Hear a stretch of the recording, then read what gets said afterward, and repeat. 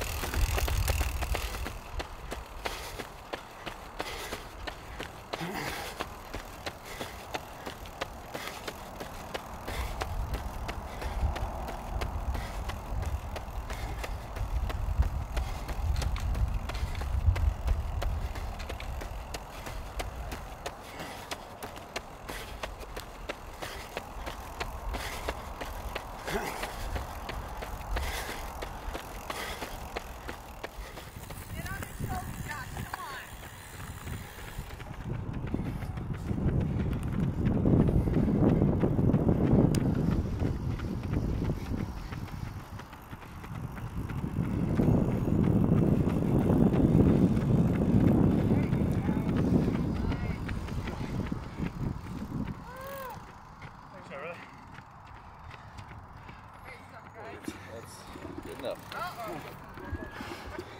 You hang? Oh yeah. Yeah, I got. I He got even drunk came once, back. but I came back. Came back on me. Yeah, I mean, I think, like, not yet. job. Must have been that no music on the way over. Oh, 52. Yeah. Oh, like, like. Yeah. We'll. So actually, if you go out that way and take a left, that will run right into 55th. That will Yeah. run into Meadows, that road. Yeah. Or you can go this way and come back up. But that might be quicker. we're going to Ara- uh, Ozo and Arapahoe. We're gonna get left. Everyone, copies.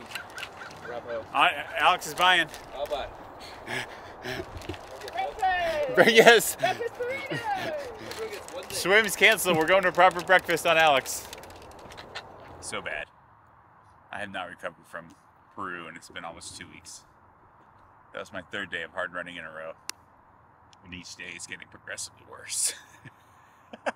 Gulf Coast, here we come. Recovery time is a little bit uh, kind of lax the older you get, huh? It, it's yeah, it's so true.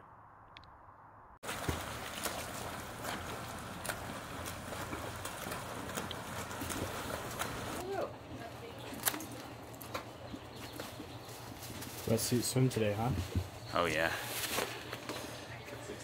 broken broken heater just fixed. Water's warming up, but 62 the other day.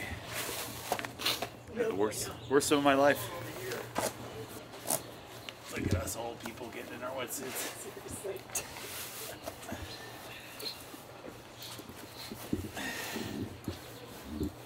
floaty little device. Trace cock that I have. Yes, It yeah. died yesterday. When I when I turned it on, I synced it, and within 10 minutes, it was already 30 yeah. seconds off. so then I was like, maybe Tio didn't swim as slow on Monday. Maybe I was, yes.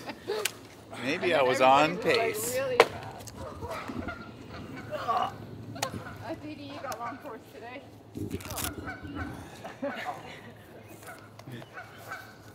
Cheers, definitely. Literally, it's holding over me.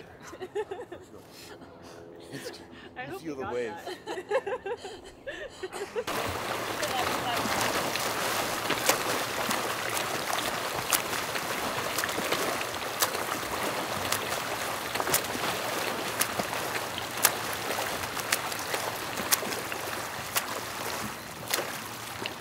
Get- Kenny's getting this on camera.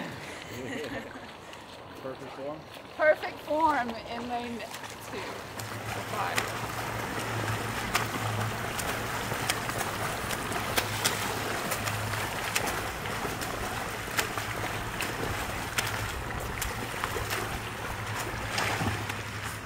Nice, guys. Awesome.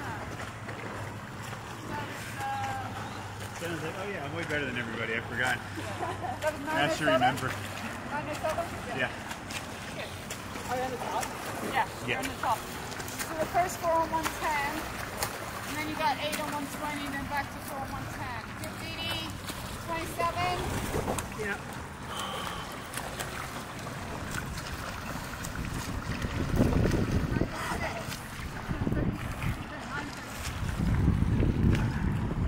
Good. Josh, you're on the top.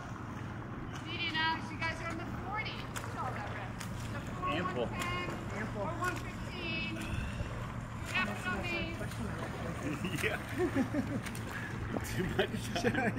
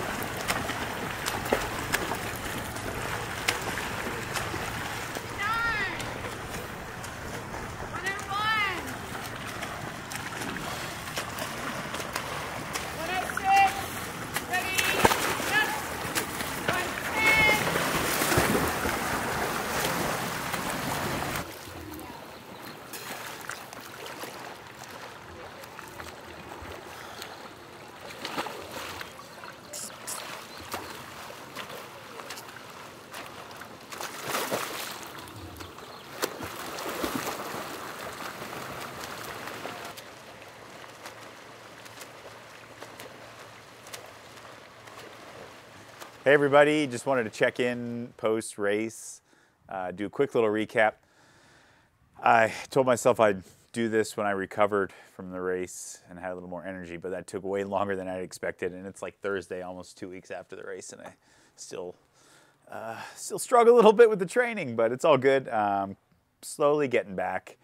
I had a horrible lead into the race. Uh, got a stomach bug from Izzy two weeks, like just under two weeks out recovered, had about three good days of training, and then I got a head cold like the next day. So um, I almost didn't get on the plane, and then I thought, what the heck, let's just go do it. Um, I made, I came to the realization that with little kids, um, and at 42, there's never going to be a perfect lead into a race anymore. Those days are just gone. So you just take what you can get and you make the best of it. And that's what I did down in Peru. Uh, great swim and then um, just really put myself in the right position on the bike. Uh, Dylan, uh, great cyclist, was able to kind of um, pace with him and, and come off the bike in a good position, and then I hit the run. Ran great for a five and a half k uh, two loop course on the way out. I ran great, and then I kind of saw where the rest of the field was and uh, lost a little bit of focus, a little bit of that hunger to get after it, and went into kind of cruise mode, which was not a good idea. Um, I even ended up actually tripping on the run. I tripped over speed bump through one of the aid stations and just totally ate it um, in front of all these teenage volunteers who were uh, had a good laugh at me, but uh, bounced back up, kept going. Uh, and actually, Igor Amorelli, who I've raced for 15 years probably, uh, he started coming back at me on the run, and I actually got a little bit nervous because I felt horrible.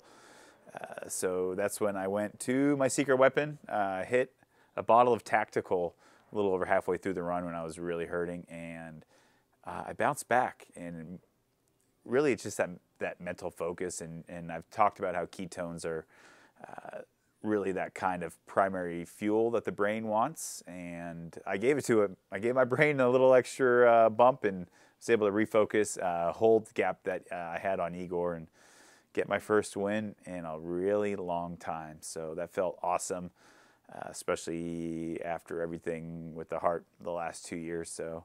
I'm excited, uh, a little nervous for Gulf Coast. I'm hoping the body, the legs come around, but uh, you know, I'll train hard through uh, this weekend and then I'll freshen up again. And uh, yeah, I'm excited to kind of race myself back into shape too a little bit. Um, in some ways, it's easier uh, breaking up the training and not getting into that really long training blocks and just getting that big, big bump of fitness from racing. So that's the plan. Uh, going back to where it all started, my first half Ironman ever, 2001. I think I went 438. So let's hope I beat that time uh, next weekend.